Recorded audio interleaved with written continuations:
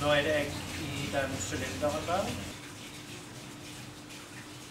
Den skal opp til 9500 PSI.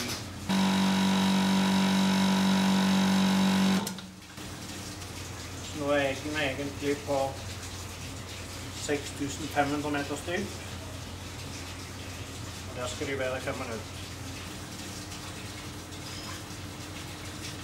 Når laksen blir stor, så kan man ikke danne kjønnsceller som eh, kan befrukte noe, som er i prinsippet steril. Det har jo med det med rømming og at, eh, at man ikke kan spre genene sine i naturen, krysse seg med villfisk.